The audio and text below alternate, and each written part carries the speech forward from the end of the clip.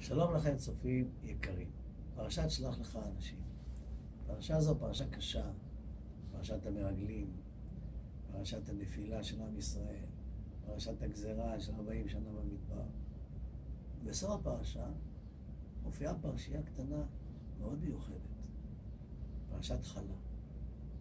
ראשית הריסותיכם, חלה תרימו תרומה, כי תרומת גורן כן תרימו אותה.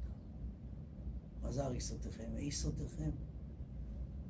כאן יוצא דבר מעניין מאוד. מילא, תרומה או ביקורים, אנחנו לוקחים את מה שעשה הקדוש ברוך הוא, מעשה ידי שמיים, וקוראים לו קודש. אבל הרי העיסה היא מעשה ידי אדם. האם חלה קדושה על מעשה ידי אדם? שמא תאמרו, הקדושה היא לא על מעשה ידי אדם, אלא על העיסה עצמה, כלומר על המקור שלה. לא כך הוא. המדרש בספרי אומר, בהלכה כדעת רבי עקיבא, שאם יש חיטה, קמח, שגדל בארץ ישראל, ואתה לוקח אותו לחוץ לארץ, ושם עושה את החלה, שם עושה את העיסה, העיסה פטורה מחלה. ולהפך, אם אתה מביא קמח מחוץ לארץ, שצמח מחוץ לארץ, לארץ ישראל, וכאן אתה עורך עיסה ולש אותה, אתה חייב בחלה. כלומר, רואים בעליל שחיוב החלה הוא בעצם על מעשה ידי אדם, על העיסה שאדם מכין ועורך.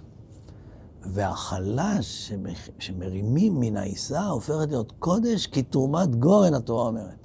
מה זה תרומת גורן? כתרומה רגילה, קודש, על כל מה שמשתמע מכך. יש לחלה מעמד של קדושה כמו ביקורים וכמו תרומה. מדוע הפרשה הזאת נזכרת אחרי מעשה המרגלים. כי יש פה עידוד גדול לעם ישראל. ממה המרגלים פחדו? הרי בסופו של דבר, הם ראו את הניסים הגדולים שהיו במדבר. הם חוו את יציאת מצרים. הם חוו את קריעת ים סוף. אז מה, ממה אתם מפחדים? התשובה היא, הם ידעו שביציאת מצרים השם יילחם לכם ואתם תחרישון.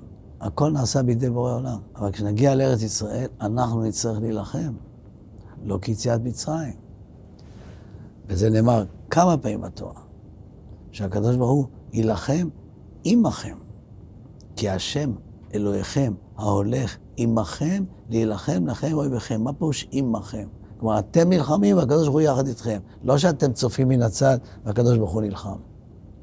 וזה הפחיד מאוד את המרגלים. אנחנו נצטרך להילחם במו ידינו מול כל ענקי הארץ, ולא יהיו לנו ניסים כיציאת מצרים? באה התורה ומציבה את פרשת חלה. תדעו לכם שיש קדושה במעשה ידי אדם, וגם כשאתם נלחמים, הקדוש ברוך הוא נמצא איתכם. יש קדושה במעשה ידיכם. ולכן מצוות חלה ניתנה מיד כשאנשים, כשעם ישראל נכנס לארץ ישראל. בעוד שמצוות תורות ומעשות רק אחרי 14 שנה, שכבשו את הארץ וחילקו אותה. רואים שמעשה ידי האדם מיד מתקדשים, ולכן היה פה עידוד גדול לעם ישראל. תילחמו, והשם יהיה איתכם. ויש קדושה במעשה ידיכם.